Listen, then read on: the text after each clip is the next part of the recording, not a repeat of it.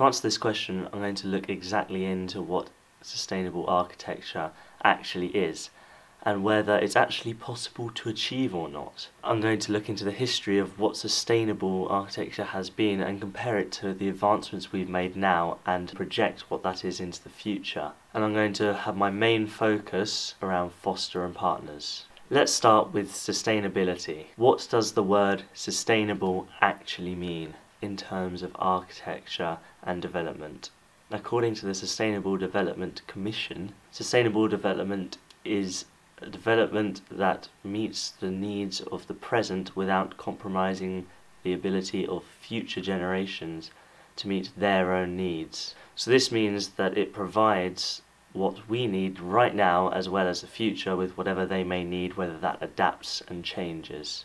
Having the ability to be prepared for the future makes sustainability a key thing in architecture and development an increasingly more important feature as the Earth's resources decline and scientists keep banging on about global warming and how us humans are damaging the planet with all of our energy usage. Is there actually such thing as sustainable and green architecture? Does it actually exist? So far, buildings that exist with this sustainable title can effectively power and run themselves as well as be green and have plantation to support the environment and ecosystem around them. But what about when they're actually building the buildings? Okay, so just take a look at this construction site right next to where I currently live.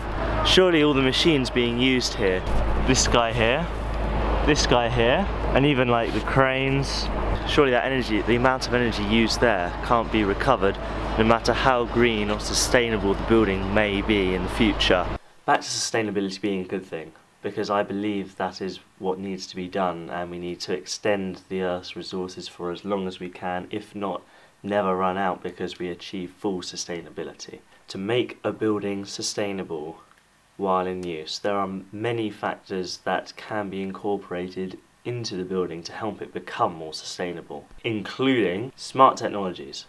These come in a range of different products and items, from a spoon that stops somebody's hand from shaking because they have Parkinson's disease, to an electric billboard that takes up the whole of a wall that can change according to what one person's walking by and their interests. But how would these things help save energy? This shows that technology can be programmed into doing specific tasks that we need it to perform, including reacting to the environment around it.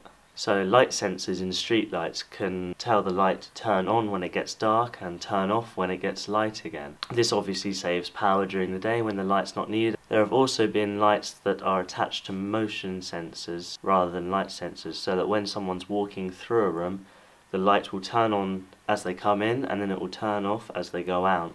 I first came across this about six years ago when watching a video about Bill Gates' house where you'd have a sensor attached to you or in your pocket. Once inside, you'll wear a special pin that uniquely identifies you and connects you to the home's electronic services. The lights ahead of you gradually come on while those in the rooms you've left behind turn themselves off. Energy production and renewable energy. That is a very, very important part of this. For a building to run without using power that is supplied to it from an external source, like the national grid or the equivalent of the national grid, it has to have its own way of supplying power itself. This may include solar powers and solar cells. These capture light energy from the sun and turn it into electrical energy.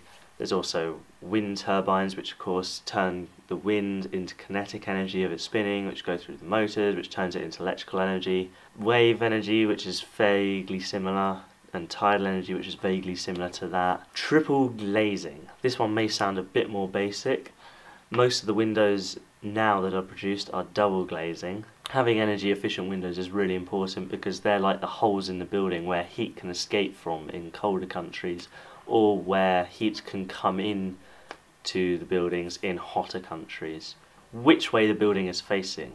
This makes a huge difference in lighting and in heating. So there are two areas that you can save power usage and money on.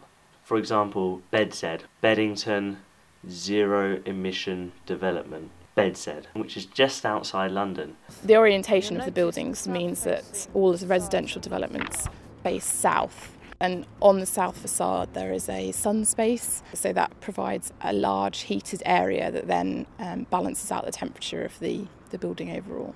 And they're south facing because in the northern hemisphere, the sun rises in the east, goes around the southern side of the sky, and then sets in the west, meaning that the light and heat will be coming in for the majority of the day.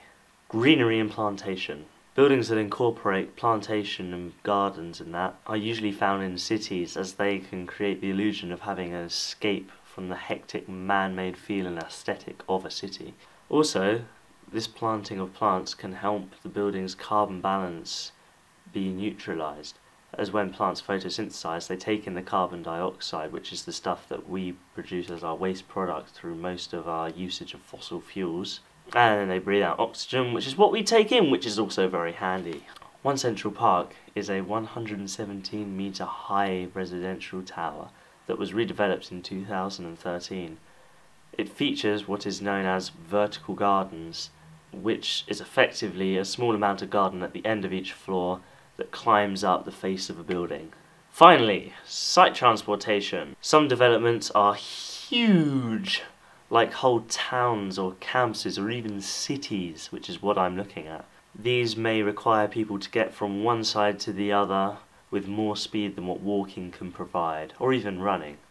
So, with that in mind, Studio's architecture brought in the bicycle to get around the Googleplex campus in California really easily and quickly and efficiently. They're the main sort of topics that I'm looking at for sustainability at the moment, so let's move on from there. So now here's where we change the topic a bit and go off sustainability for a tiny little bit of time and we move on to Foster and Partners. So what comes to mind when I say Foster and Partners? Is it London, like the Gherkin, or is it Australia with Regent Place, or maybe something else? So, bringing Foster and Partners and the sustainability bit together a bit here. What are Foster and Partners doing with sustainability? What's happening in that department of Foster and Partners? Well, according to their website, sustainability has been a central theme of Foster and Partners work for more than 40 years. This means that since 1976, going by the current year that it is when I'm saying this, which is 2016, since 1976, Foster and Partners have been putting some form of sustainability into their projects purposefully. The earliest development that fits into this time span is the Renault Distribution Centre in Swindon, in the UK which was developed in 1980 to 1982. However, there isn't really much evidence that there was any thought towards sustainability in this. There's only one sketch that may that may indicate anything towards the previously discussed topics, which is that there's sunlight entering through a skylight. It shows this with the dotted lines that you can see here, which would obviously help save electricity on power on lighting and it would save the power on heating. This wouldn't like have a majorly massive effect at all. It's not like it's enough to like save the world or anything, but at least it's a start. During 1982 to 1985, the BBC Radio Centre was designed and developed with maybe a little bit more attention to the point of letting natural light in. As this sketch clearly shows the angle of the roof being designed with skylights in to allow more light and also more heat in. That's where Foster and Partners started with it. I, I feel that's where they started with it anyway. Moving on to the present, what they're currently doing. Masdar Institute has recently been developed from 2007 to 2015 as it's a major project in Abu Dhabi it's designed to be a clean tech lab attracting universities and companies alike. But what has been done to make this project sustainable? Well, quite a lot actually. These are like the main headlines, if you will. The renewable energy.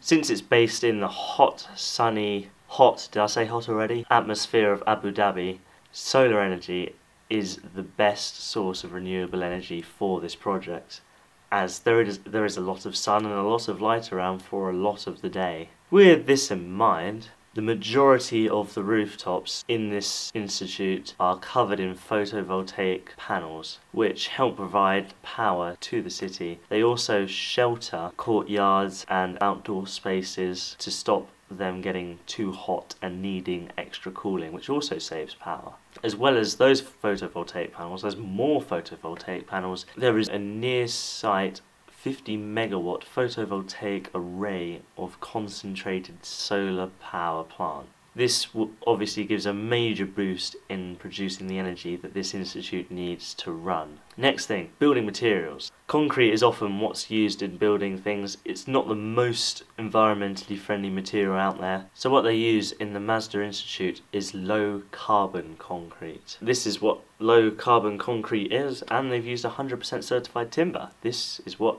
100% certified timber is. The direction in which the buildings are facing. Now, when I discussed this earlier, I said about BedZED, and it was southern. The glass walls were southern facing to let more light and heat in. In Abu Dhabi, you don't need to let light and heat in because it's already very hot and very bright. Or you don't need to let as much heat in anyway, you want to cut down on that heat. This is done by having the main open window expanses facing courtyards in between the buildings with additional shelter from the sun provided by overhanging roofs made from photovoltaic panels. There are also structures and screens built over the windows that face towards the sun so that not all of the intensity of the sun's heat is let through into the buildings.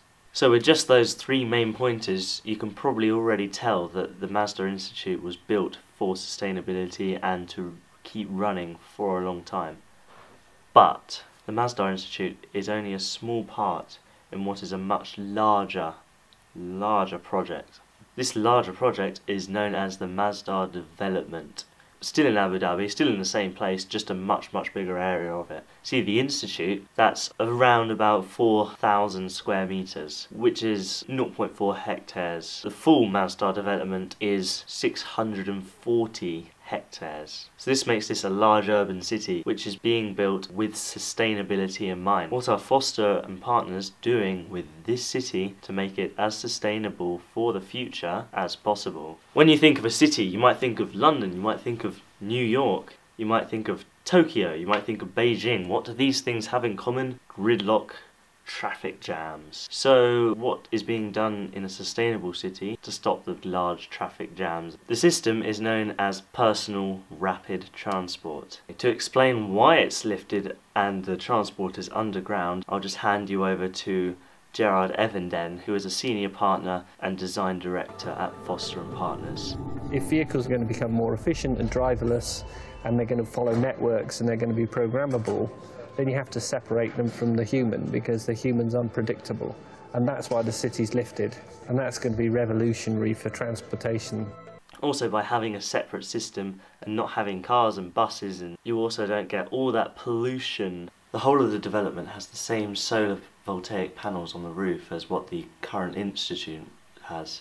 All the buildings also have the sides cut in at angles so that the sun doesn't quite hit the windows and go in and all that heat go in, it just goes down the side of the building. As well as having the layout specifically designed so that the natural flow of air and the natural winds will go through the town, cooling it down.